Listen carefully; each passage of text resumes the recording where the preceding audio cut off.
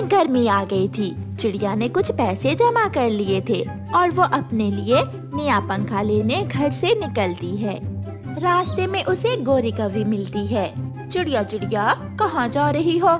गोरी बहन, गर्मी बढ़ गई है। रात को नींद नहीं आती। मैं अपने घर में लगाने के लिए नया पंखा लेने जा रही हूँ। चिड़िया, बुरा कौवा हर रविवार को आता है जंगल में सामान बेचने। तो मुझसे नया पंखा ले लेना। नहीं नहीं, गोरी।